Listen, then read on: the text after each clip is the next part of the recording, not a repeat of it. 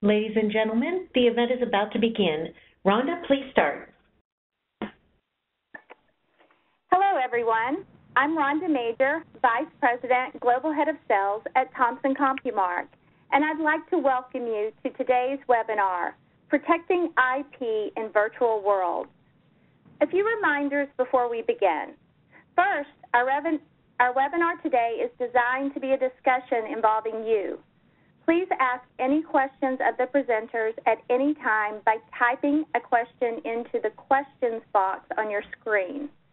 Please note that your questions will be, remain anonymous and we will address as many questions as we can during the Q&A session at the end of today's program. Also, should you experience any technical difficulties during the session and need assistance, please send us a message through the chat box and we'll assist as we can. During today's one hour event, you will learn from our speakers as they share their insights and strategies on identifying the challenges virtual worlds can create for IP owners, understanding the legal implications of intellectual property rights in virtual worlds, and understanding the differences between legal rights in the real world and virtual worlds. A copy of the slides is available for download on the event information page using the password virtual. Now, I'd like to introduce our speakers today. Joining us is Po Yi, a partner in Venable's nationally recognized advertising and marketing group and based in the New York office. Po's practice focuses on digital media, branded entertainment, advertising and marketing, intellectual property licensing, and sponsorships in sports, music, and film, both in transactional matters as well as regulatory, intellectual property, and general counseling and compliance. She edits the firm's Digital Media Link newsletter and has been speaking and writing on digital content and virtual reality issues. Also joining us is Justin Pierce, whose practice covers a wide range of intellectual property matters, including patent litigation, trademarks and brand protection, anti-counterfeiting, copyrights, design rights, trade secrets, licensing, rights of publicity, domain name and social media disputes, and international government affairs work relating to intellectual property matters. Outside of work, he is an inventor with a patent and published applications dealing with mobile applications, augmented and virtual reality, gaming, and anti counterfeiting technology. Justin is based in Venable's DC office. Also joining is Linda Zirkelbach, who is also a resident in Venable's DC office. Linda counsels clients on complex copyright and trademark issues. She also litigates in the areas of copyright, trademark, false advertising and domain names, and negotiates IP and publishing agreements. As a litigator, she has represented clients in federal courts across the country, the U.S. Patent and Trademark Office, the Trademark Trial and Appeal Board, and the U.S. Copyright Office. She has particularly deep experience in digital and online infringement and anti piracy, with significant experience in complex DMCA issues as well as in anti counterfeiting. Welcome to all our speakers. We are thrilled to have you join us today. And with that, I'll turn it over to Po. Good morning, everyone. We're delighted to be here to talk about this very increasingly important topic, virtual reality. Um, the first thing I'm going to do is just go through the topics we're going to be discussing today. There are a lot of different issues relating to virtual reality, but the focus of this panel will really be on IP issues, patents, copyright, trademark, right of publicity, uh, and we're going to go through some case studies to uh, to apply the existing laws of IP um, as it relates to, uh, to virtual reality. So the first thing we want to talk about is why are we talking about virtual reality now? It's not like virtual reality has not existed for the past several decades. In fact, I think before, it was more, I think the mainstream idea of virtual reality was mostly taken from science fiction books and movies. We all know about The Matrix, um, but there, there have been companies that have created VR experiences, VR platforms. But until now, I would say that most most people, the, the general public, not really thought about virtual reality as being relevant to them. The time has come today where virtual reality is becoming a pretty mainstream topic. I think it's difficult to go to any digital focused conference without thinking about, without talking about virtual reality as we as you may have seen, um, the August issue of Time magazine actually had a cover story on virtual reality, and there was a very lengthy article describing the landscape of virtual reality. So, with that, what we would like to do is start with um, talking about key terms and then go through uh, the, the, the, basics of IP issues. And, and Justin will, will start talking about that. Justin?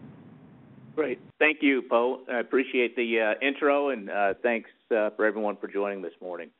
Some of the key definitions that I think are very important to address when you talk about issues like virtual reality are some that you see, of course, here on the slides. And I think this is important because a lot of people, in terms of the technology, uh, tend to mix and match terms. So, to make things clear here, virtual reality, as we define it and talk about it today, uh, is really it keys on any sort of immersive 3D or three dimensional computer generated environment that can be explored or uh, by a person or viewed from a first person scenario. Um, while there are a lot of different virtual worlds out there, that's sort of the key component or the common denominator between all the various different virtual worlds, uh, whether it's something you're engaging in on a PC or whether you're stepping into something where you're inside of equipment and it's simulating an entire 360 degree experience around you, where different technology may even recreate sounds, uh, smells, uh, various feels from haptics or various other devices and things like that. That is distinct and different from augmented reality, called AR, which is generally some sort of live, direct, or indirect view of the physical or real world environment you're in, where elements of that real world environment that you're viewing or experiencing are somehow enhanced or supplemented uh, by computer generated input. This can happen in a variety of audiovisual means, whether it's sound, video, graphics, or even GPS data overlaid on a scene that you're viewing through a viewer. Uh, pilots uh, often have this type of technology overlaid through heads up displays. Uh, there are cars, for example, now when you're looking through the windshield where you can get different readings that are right there viewable in your windshield. And then probably one of the most popular that a lot of people have experienced now for a few years and probably haven't even noticed it in many cases is when you watch, you know, we're in the midst of uh, professional football season now, but if you take a look at any professional football game uh, being televised on TV, the first down line or the line that uh, shows the so-called red zone that's being shown in your screen is not actually a painted yellow or red line on the football field, but it's being shown or overlaid on your view of that televised viewing of the uh, football field. And last but not least, if we say RR, real reality, we're talking about real life. So, to get in some of the basics here, uh, Po started off great with kind of talking about all the different buckets of IP I'm going to speak generally here for a few minutes about uh, patent law and some of the basics of patent law and how that will impact eventually as we get into the presentation further um, virtual reality.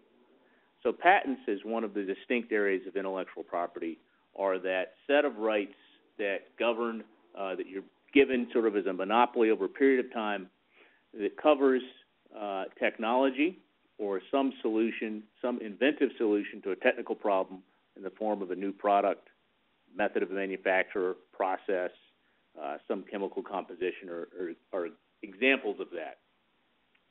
Generally, in the U.S. and around the world, quite frankly, a patent application of some sort must be filed, and that patent application has to, in it, provide various uh, claims that define, you know, the metes and bounds of that intellectual property or a patent You generally cannot get a patent unless it's novel, unless it's not obvious, and that it's new and useful.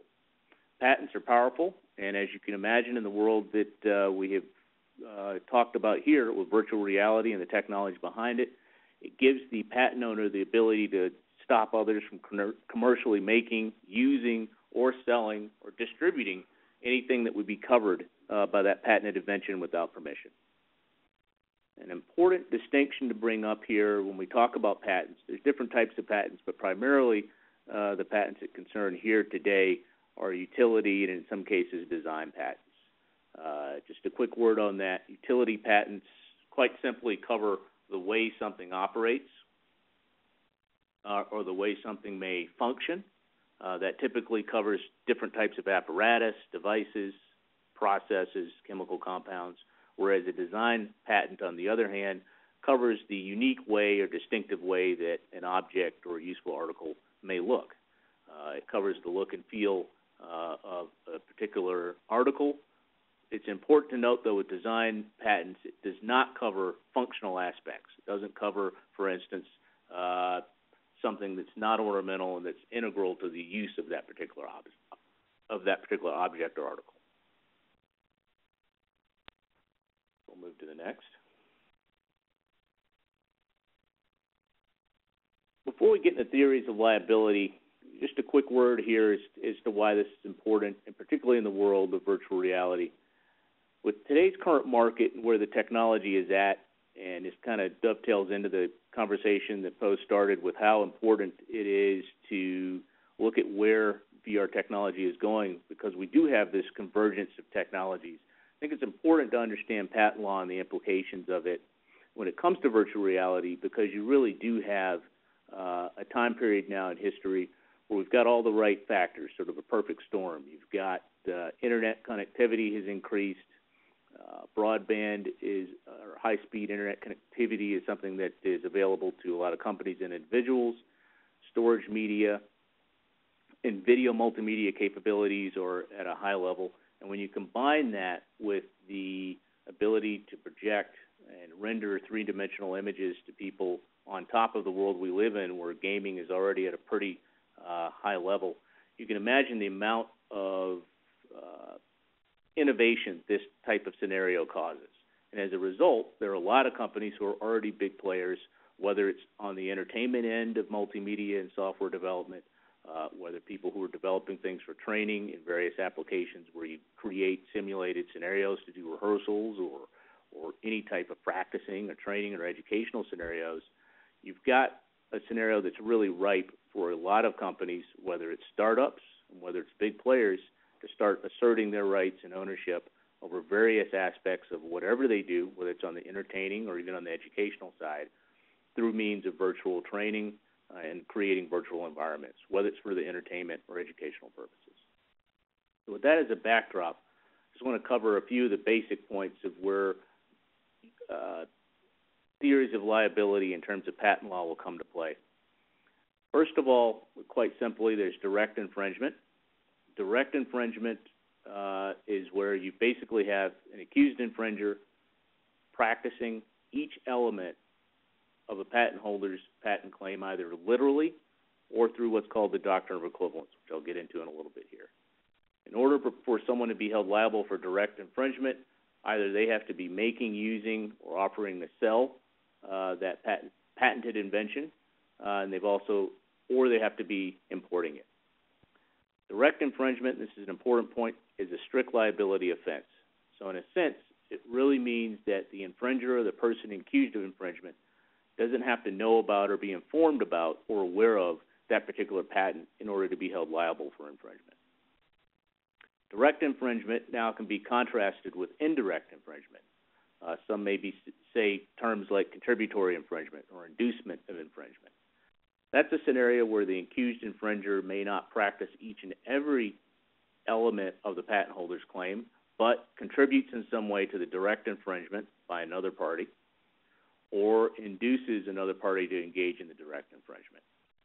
A key point here, though, is a party can only be liable for indirect infringement if another party is a direct infringer. And so earlier I talked about the doctrine of equivalents. This is important and particularly in an interesting sense when it comes to virtual reality because in some cases, as the technology has developed and some of the applications we've even looked at just in the earlier slides, you may have a plaintiff or a patent owner that sees a particular infringer replicating a virtual environment that may be very similar to that covered in their particular set of patent claims that they want to assert. But maybe one particular element is not there, let's say in a physical physical sense, but you may have various other ways because of all the different types of technologies to substitute or create the same function or same effect uh, for players or users. And that type of, of uh, nuance, I think, is going to be an important issue uh, in times where parties, whether it's plaintiffs or defendants in the future, have to assess, you know, how strong and how valid claims are being asserted against them. So with that, I'd like to move forward and turn this over to Linda, where she's going to speak more in depth about copyrights. Thank you, Justin. Um, good morning, everyone. Uh, thanks for attending. I am going to start with copyrights and then go into trademarks immediately after that. Um, some of you may know that copyrights are is an IP right for an original work of authorship that's uh, fixed in a tangible medium of expression. Um, copyrights don't protect facts or ideas um, which often are, you know, somewhat confusing to to clients. Um, but the original work of authorship. And when the copyright arises, is the moment that it's actually created and fixed in a tangible form. As you may know, registration has significant benefits, but it's not required. Um, where that's going to come into play is that upon a copyright being actually created, the law says that the creator owns that copyright. Uh, unless, number one, it was created within the scope of their employment, and therefore it's just automatically owned by their employer, or two, you have a written agreement uh, to the contrary, such as a work for hire agreement or an assignment assigning rights to a third party. Um, where that is going to become interesting in the con- in the context of virtual reality is to the extent that a user creates a copyrighted work that's not already some of the IP that the game platform owns, um, the user could own the copyright to it, not the game platform, because ownership arises at creation. Um, the some terms of use out there for existing virtual reality services do specifically say, um, number one, that the users own the copyrights in the content they create. But then number two, they grant very broad licenses to um, to the, the virtual reality service to reproduce, distribute, publish, display, you know, everything, um, the particular copyright of the user. Um, and also even include that they can use those copyrights to advertise and market the virtual reality, reality service.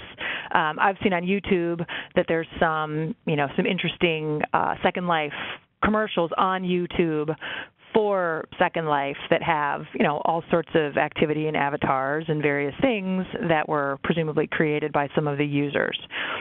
Um, and then the other interesting issue is it probably is likely that there will be disputes at some point over who really owns the copyrights in certain things. When you have users creating certain content, such as avatars, but using code that's already there by the virtual reality service um, and other other components. So I think it's fair to say that there probably is going to be litigation at some point over those points. Um, moving into issues of liability, copyright theories of liability. Um, also, copyright infringement is a strict liability tort, which is a pretty powerful thing. Um, there is direct infringement and then a variety of secondary theories, which are up here on the slide, that I don't need to necessarily go through um, point by point. But also, uh, not only do you have liability if you just have no license whatsoever, but even going beyond the scope of a particular license that you might have been granted, it also can give rise to liability. Um, so you want to make sure if you are representing clients in this area, you know that you're drafting your licenses very carefully. Um, again, where some of these liability issues come into play in the virtual reality context is, um, for example, if someone creates uh, a, a, copyrighted work, is the term, um, that is then on a virtual reality service, and that work, that content, is hosted on the server uh, owned by the virtual reality company, um, most likely they will be held strictly liable for any copyright infringement that occurs. Um, and so everyone should consider best practices including whether they should have a DMCA policy. And for anyone who's not familiar with that, um, Section 512 of the Digital Millennium Copyright Act, uh, it's actually Section 512C, has a safe harbor from otherwise direct liability for content that is on your server if you comply with some very technical and specific requirements of 512 of the Copyright Act. Um, you, some people may know that uh, the movie industry spent years um, you know, litigating up and down and all over the place with YouTube over liability of YouTube for, um, you know, a variety of infringing videos that are up on the service. And ultimately, the last um, the last decision was that they the uh, YouTube was not liable, and that the the studios had to continually send these DMCA notices to YouTube. Um, also, another area where it comes into play um, is if the content is not hosted. So if there is some content considered infringing created by a user, um, but the virtual virtual reality service is created in such a way that the content is not actually hosted on the service. Um, that can create some other interesting issues, such as whether um, litigants would need to look at secondary theories of liability because there may not be direct liability by virtue of hosting the service. Um, and there, the activity and all of the various statements and evidence of the actual virtual reality service would come into play. Um, I worked in the music industry during the Supreme Court Grokster decision, um, where the issue was that the the peer-to-peer music and file sharing was not hosted on Grokster's server, and so in that case, the Supreme Court actually created a new standard um, of inducement under copyright because we haven't had enough evidence that Grokster was inducing people to use their service for infringing, even though it was not going um, through the actual Grokster server. Uh, I think it's probably less likely that there would be sort of encouragement to infringe on virtual reality services than in the music world, but it is something to to keep in mind. Um, another issue that is is interesting in the copyright space is, um, let's say, an avatar that's been created becomes wildly popular. Um, you know, it's something that becomes viral, and and you know, one particular uh, avatar is created that takes off. Um, let's say a brand or a movie uh, studio wants to adopt that and put it into some kind of commercial venture. Um, question would be, from whom do they license it? Um, will the virtuality service stick with their position if they have one in the terms of use that the user owns a copyright in that? Um, or how would the brand or the movie studio actually learn the identity of the creator if they wanted to approach them for a license? Um, they probably wouldn't subpoena them uh, to try to get their information, um, but how would that play out? Those are issues you might want to think through. Um, would they, uh, you know, would the the service, the virtual reality service, once contacted by the studio or the brand, send an email to the user and say, hey, we've had this inquiry, you know, can I connect you with these people, that sort of thing. Um, other questions arise, and I'll try to move on quickly to trademarks. So I'm not taking up too much time. Uh, other questions arise as far as uh, some of you may know that in order to uh, file a suit for copyright infringement, um, you need to have filed or actually have registered your copyright, depending on the jurisdiction. Um, you also need to have filed your copyright application. Um, before the infringement in order to get certain damages, like statutory damages, attorney's fees. Some interesting issues are going to arise as far as who actually has the right to register those copyrights, the user or the virtual reality service. Um, moving on to trademarks. Uh, a trademark, as you may know, is you know a, a, word or a logo or a name or a symbol um, that serves to designate who the source of the goods are. Um, and for service, technically the word is service mark, but most people just call it a mark. Um, and brand, as you probably know, refers to the the persona of a particular product or service that's been established by the marketing and advertising of that company moving on to the liability issues with regard to trademark, um, you know, most people are probably very familiar with the classic trademark infringement, where someone comes out with another trademark that the original owner believes is likely to be confused with their trademark and is in a for goods that are either the same or related. Um, there's also less known uh, theories uh, such as false association endorsement or sponsorship, um, which can occur when a trademark owner or an individual believes that their name um, has been connected with a product or service in such a way that consumers are going to believe that they were sponsoring or affiliated or somehow um, otherwise connected to that particular product or service. And then dilution is another theory which can only be used by trademark owners who are deemed to have famous trademarks.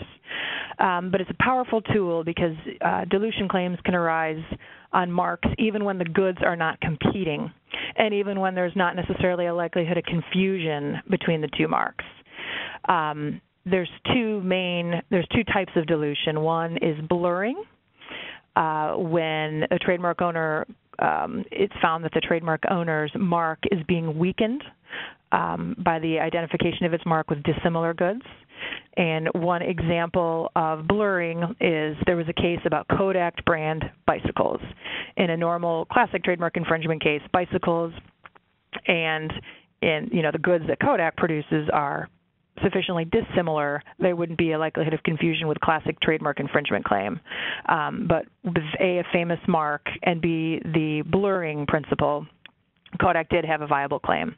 Tarnishment is the second under dilution, um, which is using is weakening the distinctiveness of the famous mark through inappropriate or unflattering associations. And there was a case, to give you an example, uh, where Toys R Us sued an adult website that used the name Adults R Us for a, a pornographic site, and that was a tarnishment case. Um, where this can come into play in virtual reality uh, is again the key takeaway here is that uh, a third party who uses another's mark for a commercial purpose, even if those goods are not competing with the trademark owner's goods, can still be subject of litigation. Um, the classic trademark infringement example that you you know you probably already would think of would just be if the actual name of the virtual reality service is too similar to something that's that's out there and there's a likelihood of confusion. For example, most people are probably familiar with Candy Crush, um, the video game. If someone came out with a virtual reality platform called Candy Rush, you know, that would be more of a classic trademark infringement claim. But what is more likely in the virtual reality context um, is the more successful that third parties become at repurposing popular marks for their digital commentary, the more concerned the brands are likely to become that the image of their brands are being diluted. Um, for example, uh, if a famous mark is being used, if, if the users are including famous marks uh, in these virtual reality games, um, in ways that are distasteful to the brand owners. For example, using marks in graphically violent scenes or other undesirable uses. Um, some other issues to watch are who will the brand go after? Um, you know, it's not necessarily popular to go after individuals. Um, so it's most likely the brand will be contacting the virtual reality service and wanting those, uh, you know, offending uses of their trademarks to be taken down. Um, but what if the virtual reality service doesn't do that? Uh, they are the most likely target. So, it, for anyone who represents any clients in this area, these are issues that you want to um, think through at the front end. Uh, another thing is, as most people are probably aware in social media, um, people are regularly trashing brands, um, you know, in a variety of social media contexts. That's often not actionable because of First Amendment issues um, and it's often not the first step a brand wants to take to go after any consumers. Um, but what if competitors start finding virtual reality to be a good place um, with lots of eyes and lots of users to commercially disparage other brands? You know, that's certainly done on websites all the time, um, but sort of the next uh, logical place could be virtual, virtual reality platforms. Um, I will leave uh, my discussion with the false association and endorsement claims, um, which this you don't have to have a famous mark in order to bring a false association, endorsement, or sponsorship claim. Um, you could claim that uh, you know the the fact that your trademark is being used in a virtual reality service um, gives rise to the impression that your brand has some sort of endorsement or affiliation. Let's say there's a particular neighborhood that's been created um, in the, the virtual reality game. Um, individuals as well as um, which are often celebrities, are also able to bring 43A claims in addition to companies. Um, a related claim is the state right of publicity claim that Po is about to discuss for individuals. Thanks, Linda. Um, so let's talk about right of publicity. What is right of publicity? It's, it's um, you know, we're talking about intellectual property rights, but when you're talking about intellectual property rights, even though right of publicity is not technically considered an IP right, it is oftentimes combined with IP rights when and when when um, when people are discussing li- potential liability and, and rights clearance issues. So right of publicity is a right to control the commercial use of one's identity this is based on state law, um, and, and, and, there are a number of states, I believe there's 31 states currently, that either by statute or common law or a combination of the two recognize this right of publicity, the individual's right to control one's, um, the commercial use of one's identity. This right is really uh, applicable to individuals, not corporations. I think for corporations we have other protections like trademark.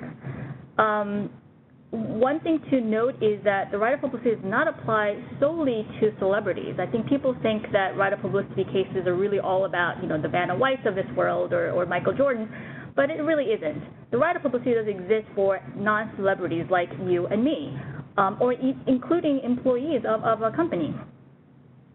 Um, the basics of right of publicity is that state RP laws prohibit the use of a person's identity for commercial purposes without the person's consent. So if you want to use um, my name or picture in an ad for Domino's, um, their Domino's will have to come back and get my consent. In certain states, written consent is required. Um, New York requires written consent. Certain other states, like California, uh, do not require written consent. However, they extend the right of publicity rights to after the person has died. So there, it's called descendable postmortem rights. And in California, it can go up to 70 years after the person's death. And you can see with California, with uh, the protection of celebrities, how that is, why that um, law exists. How the right of publicity is not really an absolute right, and, and there are you always have to um, you always have to, to weigh the right of publicity right, right of publicity uh, protection against First Amendment rights. Um, you, you don't want to be, if we're talking about artistic creation, like um, a movie that uh, portrays a, a, a real life figure, um, either uh, an existing figure today or a person who's died, um, like a docudrama, those things are protected by First Amendment. Um, so when courts are determining whether a use of a person's identity without the person's consent falls under uh, uh, violates any right of publicity, state right of publicity statutes, they have to always do the analysis as to whether there is a First Amendment exception that exists. So, in other words, is there a commercial purpose here? If there's no commercial purpose, then the First Amendment would come right in, and you would not, and, and the user, um, uh, the, the party using somebody else's, an individual's right of uh, name or likeness, would not be considered to have violated um, any right of publicity rights. Uh, a perfect example of this is the Michael Jordan case that um, I'm not sure. I'm sure a lot of people have heard about this. This is big news, where um, uh, Michael Jordan sued um, uh, Dominick in, in Chicago against uh, for, for use of his name for a congr- congratulatory ad. And I think the I think that the first question that they had they asked, um, and this was litigated over a number of years, is whether that kind of congratulatory ad is um, or congratulatory message is in fact a commercial message. If it's not a commercial message, then the First Amendment trumps. If it is, um, then the right of publicity statutes apply. In the end, in that case, um, the court ruled that it's, it's a commercial message, and then and then the jury subsequently earlier this year awarded Michael Jordan with an 8.9 million dollar verdict. You can see how important and how uh, uh, how you know how potentially huge the liability could be for somebody using an individual's, especially a celebrity's right of um, name or likeness without without consent. Um, where this applies in in, in uh, virtual reality you can see that in virtual reality, if you were to use, um, and when I say you, I mean the virtual reality creators, the platform, or, or users, participants who are actually participating in the virtual reality world. If they were to use real life characters in the virtual reality world, then you really have to think about whether right of publicity um, laws apply. Uh, especially, this is especially true if that virtual reality world is sponsored by or is used to promote um, a brand.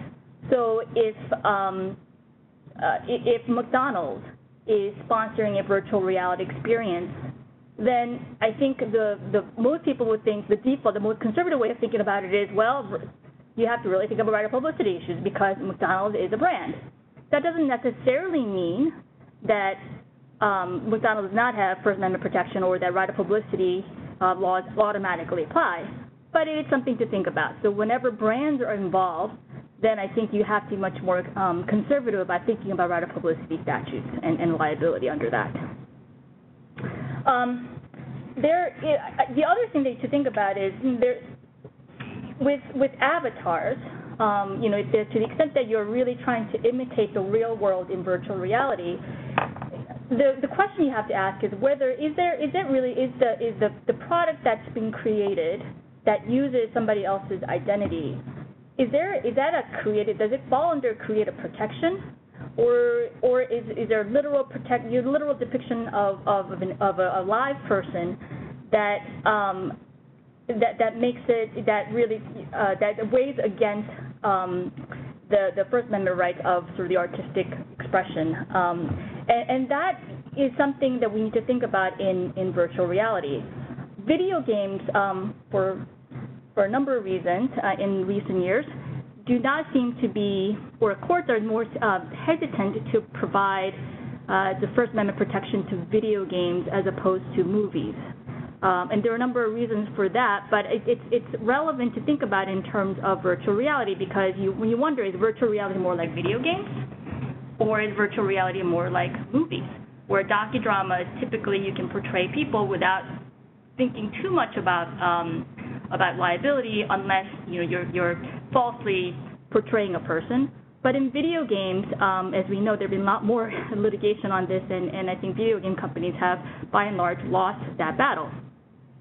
What we're going to do is, um, in the next, the remainder of this kind of presentation, we're going to go through some case studies that will hopefully um, that we can use to really apply these principles, whether it's right of publicity, um, copyright, trademark, and patent principles that we just discussed um, in, the, in, in the context of virtual reality scenarios.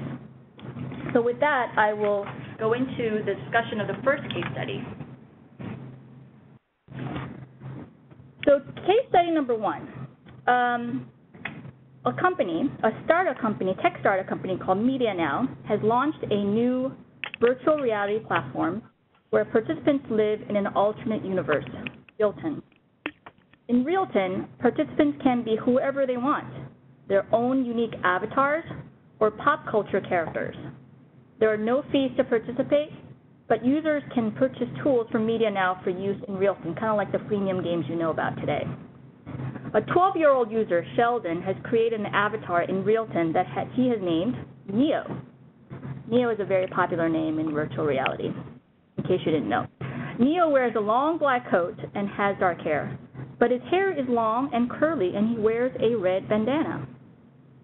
Media Now has received a cease and desist letter from the studio that produced The Matrix and from Keanu Reeves' lawyers. Although Media Now is thrilled that Realton is attracting attention, they don't want lawsuits so early in the game. So, Linda, um, let me point the question to you first. Sure. Does the studio have a valid claim?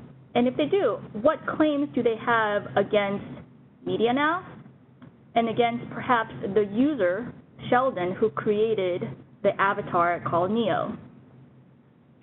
Okay. Uh, the this doesn't strike me as perhaps the strongest claim that I've ever seen, but uh, characters are commonly protected by studios under trademark and copyright law because of the the massive licensing and merchandising rights that they they can have. Um, there's been several cases holding that studios have rights to ET, for example, is just one. Um, the question here would be um, under copyright law, you know, is this guy substantially similar to any rights that the studio does have in the character Neo from The Matrix. Um, you know, secondly, it would really depend on the use um, of of this character? You know, is it some sort of parody? Um, is it some other kind of fair use or commentary? So I think um, you know the particular facts that are at play and how it looks would be relevant here. Um, there's also potentially a false endorsement claim um, for having such a character in a commercial product. Um, as far as uh, if I think you said if Media Now would have any claims against Neo, um, you know there may be a breach of the terms of use uh, depending on what you know what the particular terms of use said.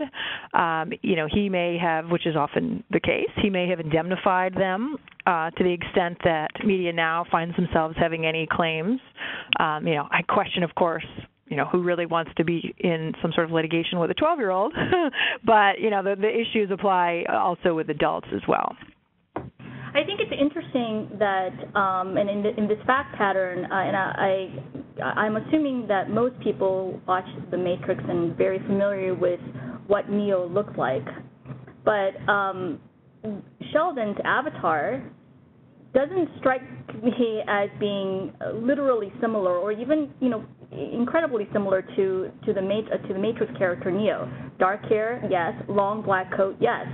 Um, his hair is long. Okay, Neo's hair was really short. Uh, he never wore a red bandana. So you wonder, in this case, um, whether there is enough similarity to really, um, and cer- certainly uh, whether the similarity enough to to to sustain a claim. Uh, and I think that's true from a right of publicity perspective. Um, I don't know what claim Keanu Reeves' uh, lawyers would have because it doesn't look like Neo looks anything like Keanu Reeves, other than the fact that there is some uh, similarities between well, there's the name and and you know there, there there's no right of publicity claim against a character from a movie. Um, it's just because it sort of seems to um, uh, imply that we're talking about Keanu Reeves doesn't necessarily give him um, a sustainable right of publicity claim. So let me let me just uh, move further and ask a follow-up question if the student, and Linda, I think this is similar to what you alluded to during your discussion of uh, copyright. In the event the studio is really interested in using the character Neo and the storyline that was created for a Matrix sequel. So remember this virtual reality world where Sheldon or Neo uh, is living in this world and cre- creating different storylines um, that may be similar or not so similar to the Matrix there is there is content that's being created. And let's say the studio who owns the Matrix um, is really interested in taking some of that content and incorporating that into um, into the, the, the sequel. Or maybe they even like the avatar. In fact, they want to incorporate the avatar. What would you say to that? Uh, I would say it would create very interesting issues. Number one, as to who might actually own the rights to to the avatar and the storyline. You know, it could be more than Sheldon. Uh, it could be other users. Uh, it could be the VR platform if they're providing parts thereof. Uh, you know, if, if it's an entire storyline that's been pre- been created by multiple players, and that might be governed by the terms of use. Um, what I think uh, is sort of the more practical issue here is my my instinct is that the studio would probably take the position that if they really wanted to use this um, in you know in a movie, that the avatar was um, a derivative work that he um, Sheldon didn't actually have their authorization to create, and they you know might handle it that way with more of um, of coming on the offense as far as um, he didn't have these rights in the first place. So that in order to handle this, there should be a deal struck in order to um, make sure that it's abundantly clear that they can then use this in their next movie. Thank you for that. Um, I think there are a lot more discussions we can have based on this case study, but given that we have limited time, we're going to move on to the, the next case study. You can you can see that there are always a lot of issues, and all, all these issues are probably waiting to be litigated at some point in the future. Um, so, so, Justin, do you want to take us through your uh, case study too? We'll do that. Thank you, Pope. Good uh, case study. So as we move to case study two, uh, you'll see that we've got a scenario here where we're dealing with a startup in the, let's say, virtual gaming uh, area. And I'll read case study two uh, to you here. So, we've got an entrepreneur, an avid gamer here, who decides to create a new gaming center, which is designed to offer an immersive virtual reality experience in a large space that makes gamers feel as if they're literally within a video game. The center inhabits a huge warehouse that contains hundreds of the latest ABC cameras. ABC is a major provider in this scenario of video gaming systems that use cameras to watch and track the motion of users.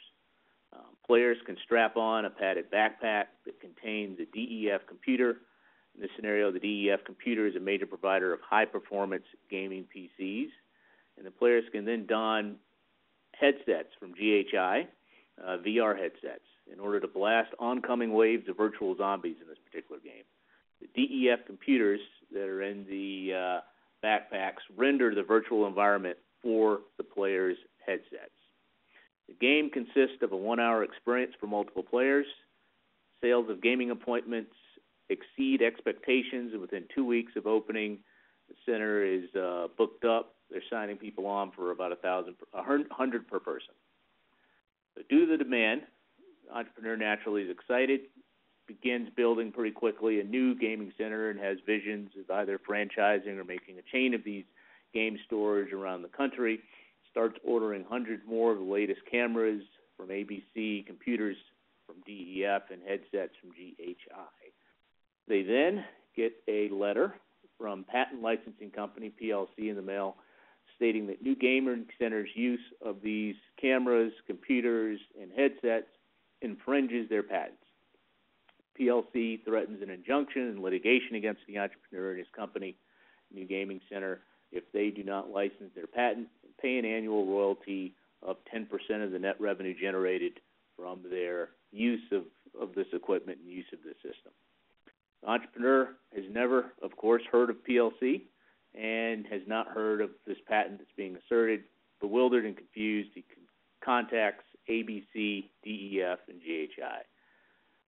So, in this and in the interest of time, what does the entrepreneur do? What you know, what's a, a business person faced with this kind of situation do? Uh, even today, uh, where this kind of technology is available and constantly being innovated, and he is taking uh, elements of what's out there to create this immersive experience from people, um, and trying to figure out how to leverage it in, in the real world. So one thing that comes up right off the bat um, in this particular instance, and in the current construct that we live in with uh, patent litigation, is one tool that hasn't been out there for, for many years, and this is post America Invents Acts, is you have the capability to use post-grant proceedings, IPR proceedings, as a matter of fact. One thing this particular entrepreneur could do, uh, if possible, once getting a, an IP or patent counsel involved, instead of firing back with litigation, uh, looking at submitting what's called an inter partes review. And quite, simple, quite simply, this is something where you are able to uh, submit without necessarily going to litigation to the PTAB, the patent uh, at the USPTA, USPTO, where you can hopefully invalidate patents that are being asserted against you in litigation. In many cases, the litigation that may be threatened against you can actually get stayed, and it's certainly the kind of thing that will put an entrepreneur in a better bargaining position against a company like this for eventual talks um, about licensing or any royalty payments. Quite simply, it's a way to invalidate uh, patent claims that are being asserted against you if they turn out to be uh, unpatentable uh, in the law. Now, how could that happen?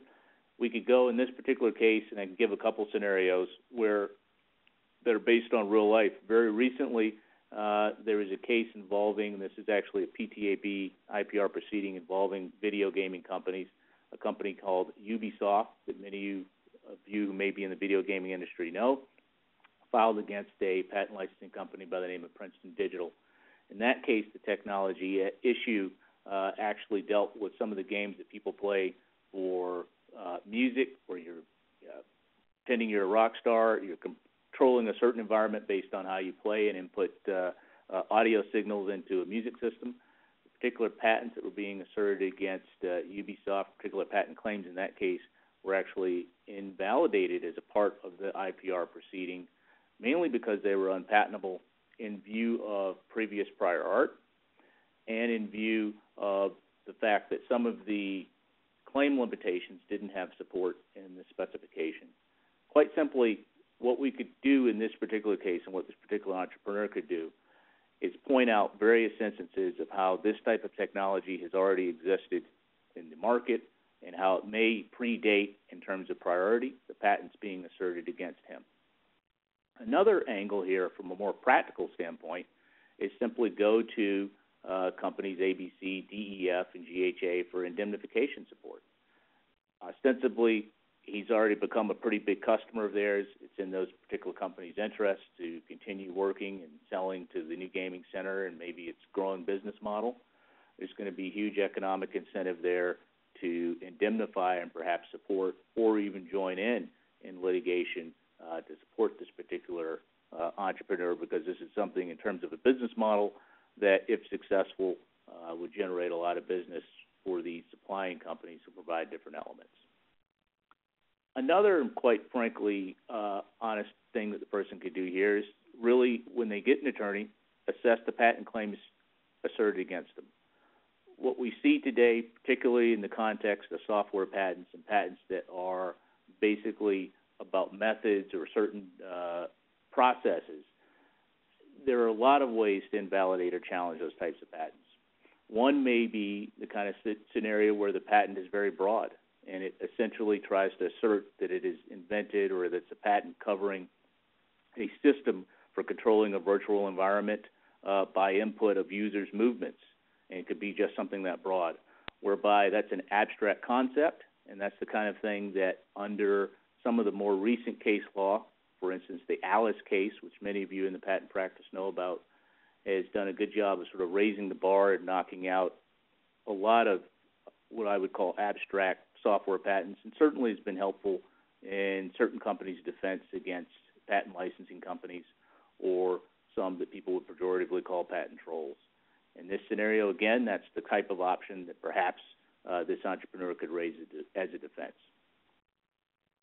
One other quick question, in the interest of time, because we're getting low on it, that I would bring up is there are a lot of different ways, a lot of different flexibility in terms of how one might render uh, and display images to players in a virtual environment. In this scenario here, we've got people donning headsets. But let's say this entrepreneur is quick and then realizes that, you know what, I'm going to be facing bigger liability if I keep on with further gaming systems. Let me go with an alternative provider, and instead of headsets, I've got a better idea. Uh, I've got people I know at this particular company, XYZ, who sells holographic projectors, and instead of having people don on headsets, I can have holographic projectors integrated at different points within our gaming system, and then have that uh, take input from the motion sensors and tracking in the cameras and project images to players as they engage with the game that way, so they're not necessarily looking at it through a heads-up display. The question then there becomes, is that enough of either a design around or a, a system now that doesn't infringe the patent being asserted against them? Classic answer is it depends on the patent claims, but in this scenario, it probably would be enough to perhaps get around the particular patent claim being asserted against them. So a lot of issues here, a lot of things to think about, both on a practical level and in terms of just how do you maneuver around patent law uh, in a virtual world environment. But uh, happy to deal with questions with this after as we move now to case study three. Thanks, Justin. Um, we're going to try to do this really um, quickly because we're running low on time. We only have five minutes left. Um, the third case study is uh, related to the Olympics. Apex Airline is one of the main sponsors of the 2016 Summer Olympics. These are all, by the way, um, scenarios and, and it's not based on facts. As part of their marketing campaign in connection with the Olympics, they are sponsoring a real-time VR experience where users can join their favorite athletes during an Olympic event uh, and activity. Apex does not have individual endorsement agreements with any of the athletes that can be used in the VR experience, but is merely licensing content from the Olympics. Sprinter Milo Phipps gets upset when he finds out that he is being featured in a VR experience sponsored by Apex Airlines. His uniform sponsor, Singlet Inc., is also upset because Milo Phipps has an exclusive deal with the Singlet Inc. Um, across all platforms and paid him to be their exclusive spokesperson. Another Olympic sponsor, whose signage appears in the VR experience, is thrilled with the free advertising. This raises a lot of interesting issues, and I think um, more and more we're starting to see brands getting involved in creating VR experiences to to um, raise their brand profile um, and also to um, to activate, uh, do marketing activations around sponsorships that they have. This is a perfect example of where we have a major sponsor of the Olympics. They have the permission from the Olympics to um, to do an activation, presumably with their consent, um, on this particular activation. So the false association issue that we talked about earlier uh, with Linda, as, as far as Olympics go, that that's not an issue. The question arises with respect to Milo Phipps. Milo Phipps is an individual. Um, he's an individual athlete. And, and, you can imagine how this is going to happen. You, the Olympics or, or, Apex Airline probably has these VR cameras that are stationed at various Olympic events, whether it's a the opening ceremony, um, medal um, uh, at the medal stand, or or during an actual um, uh, uh, your actual um, athletic event. And the camera angle, camera is capturing everything and and streaming that experience to um, to where Air, Apex Airlines has set up a marketing booth and and somebody wearing a a VR um, um, eye headgear whether they whether they're eyeglasses, could be from lots of different companies, um, can experience being part of that part of the Olympics. So I could be wearing this headgear, and I am look am watching myself be walking next to Milo Phipps. Um, so so in that case, Milo Phipps, who does not have an agreement with Apex Airline, has an exclusive agreement with um, with uh, Singlet, who probably you know paid a lot of money for for Milo Phipps to be exclusive to them, he is um, he's part of an experience that is sponsored by Apex Airline. What happens?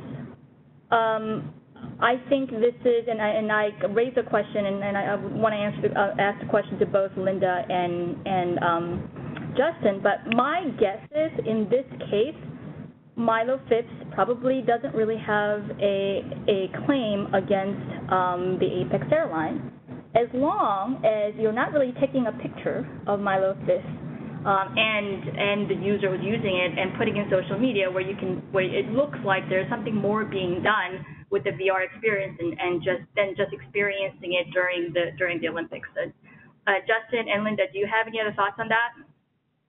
I would, uh, um, I, I, I see, I see what you're saying. I see your analysis, but on the flip side, I could certainly envision a case being brought, um, you know, with violation of right of publicity and a 43A claim, sort of with the, the general um, point that Apex is getting eyes on their campaign, you know, by using his likeness in a certain manner. So um, I think that is is some potentially dangerous territory. Whether you know whether they would win or not is an open question. And right. I think what would be I'd, I'd agree too. Go ahead. Yeah, I was going to say I agree too, and I think what you'd end up with is some sort of scenario where the uh, uh, the, the, the sprinter here is going to be looking for some sort of some sort of remuneration, whether that's going to be successful or not. And uh, it, it would have to be resolved probably with some sort of settlement after the, the filing of the suit. Now, whether it would be successful in the merits, that's another question. But certainly, right. Right. And, and Justin, I think you're right. But I think I I, I think in in this case, you, we we don't we haven't seen this happen. You know, when you when you have um, uh, NBC taking the Olympic footage and, and and and streaming it to people, and and there are sponsors or particular elements of that um, they don't necessarily have to go get specific consent from individual athletes. However, I wonder the way to resolve this issue is perhaps um, to uh, to make the agreements that Apex uh, um, and the and the Olympics and would would the USOC and the IOC um, to more broadly include this type of scenario. Um, I, I doubt that those agreements currently contain any contemplation of this whatsoever, but it's it's something that could happen, and it would be probably impossible for for Apex Airline to go and get consent from every single athlete, simply because um, there's way too many athletes, and I think the the whole idea of this is that it's instead of looking at it 2D or even 3D, you're just looking at it from a VR experience perspective. Uh, but but like like Justin and Linda said, th- this is probably an issue that will um, will need to be figured out in the future when this becomes a reality. Um, with that, I'm going to close our official presentation. And um, Rhonda, are there a couple of questions? I know that we're going over, but I think we can we can maybe answer a couple of questions before we do that. Okay, thank you. Uh, I really appreciate the very informative presentation today. We'll have uh, time for one question, and uh, and then what we will do is uh, invite all of the attendees, if they have any questions, to email uh, Po, Justin, and Linda directly if they want more follow-up and more robust discussion around uh, the topics. So the question is in regards to the first case study and it is what can we do in terms of service and other best practices, such as training of internal employees, uh, do to best insulate our clients from the issues uh, that were raised in the case study. And I'll throw that out to any either any of you that want to answer that. Po, do you want me to take that? Yeah, I mean, yeah, you you can answer or I'll jump in as well. I think this okay. this is um, one of the things we want to talk about is user terms, which I think you actually mentioned during your um, part of the presentation as well. Yeah, I mean, I think this we could probably spend 45 minutes on this answer alone, and I'm assuming most people need to hop for lunch. so, you know, sort of key points, obviously this can't be exhaustive, is the terms of use are really critical as far as who owns what content um, and how that will work. Uh, indemnifications are important. Uh, you need to think about how your platform is designed, meaning is are things going to be hosted on your server or not? Um, to the extent they are, uh, we would recommend that you um, become familiar, to the extent you're not already, with the Digital Millennium Copyright Act, the safe harbors, um, have a policy, make sure that the um, internal employees on the front lines are educated. Uh, there was a case. There's a, been some litigation, uh, you know, for the last couple of years with the Beastie Boys and Monster Energy and one of the big things that the um, court hung their hat on was just that they didn't believe that the um, employees within Monster Energy were appropriately uh, trained and had an appropriate uh, sort of clearance and compliance program. So that sort of stuff does matter sometimes in the evidence. I, I think as a final note, uh, we should all remember that that there is a there are some precedents in, in dealing with VR issues, which is really, or especially in the user-generated content uh, space, which is the current platforms, current current social media platforms that exist today. Um, I think a lot of these issues have been um, have have been analyzed and in some cases litigated. So I think uh, looking at the current platforms is a good indication of how we should perhaps approach these issues in connection with, with virtual reality. Uh, so with that, thank you everyone for joining us. Um, and, and, Rhonda, do you want to just close this out, or is that all? Yes. Thank you very much. I'd like to thank our speakers, Po, Justin, and Linda, for being with us today. And I'd also like to thank our audience for attending today's presentation. Again, if you would like to pose any more questions to Po, Justin, or Linda, uh, their email addresses are on the screen here, and they will be in the presentation that you're able to download. So thank you all for attending, and have a wonderful day. Thanks.